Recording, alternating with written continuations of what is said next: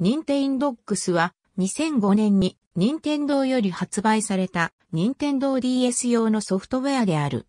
続編として、任天堂 Dogs Cats が任天堂 3DS のローンチタイトルとして2011年2月26日に発売された。本作はタッチ、ジェネレーションズシリーズの一つである。犬の触れ合い、犬の世話などができるゲーム。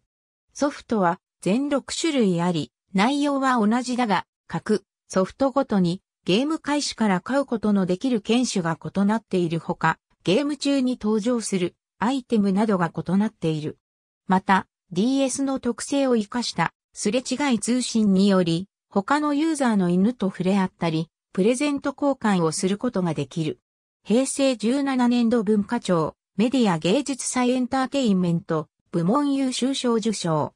特に欧州市場では記録的なヒットとなり、任天堂 DS のキラーコンテンツの一つとなっている。それ以外の国、地域でも安定した売り上げを上げたことから、全6種類の売り上げを合計した場合の売り上げは、世界市場全体の任天堂 DS 用ソフト中で最高の販売本数を誇る。E3-2010 にて、次世代機任天堂 3DS 用ソフトとして、続編、任天堂 Dogs Cats が制作されていることが発表された。各パッケージごとの最初から買える犬種は以下の通り。すれ違い通信を行う、または飼い主ポイントが上がることによって他の犬種も買えるようになる。この作品では、任天堂 DS のワイヤレス通信機能を使ったすれ違い通信を行うことができる。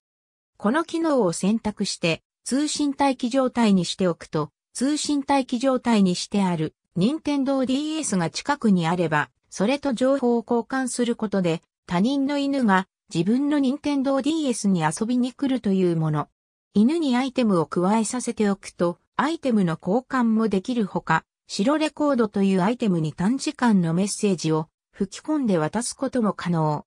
また、この機能で遊びに来た犬が飼える犬種に追加されるようになっている。これまでの通信対戦ソフトと違って、ごく短時間で通信でき、朝に通信待機状態にして、バッグの中に入れておき、夕方帰宅した後に通信ができていたか、一喜一憂する、未知の他人の犬を見られるという携帯機で、省電力待機状態と通信を両立した任天堂 DS の特性をうまく使った通信方法となっている。以前は任天堂 DS 間での直接通信だけでなく、ゲームソフト販売店や都心の駅などに設置されていたすれ違い通信中継所でも可能であったが、現在は撤去されている。なお、すれ違い通信では、犬は遊びに行くだけでゲームから完全にいなくなるわけではない。内訳はそれぞれ、芝約73万、ダックス約55万、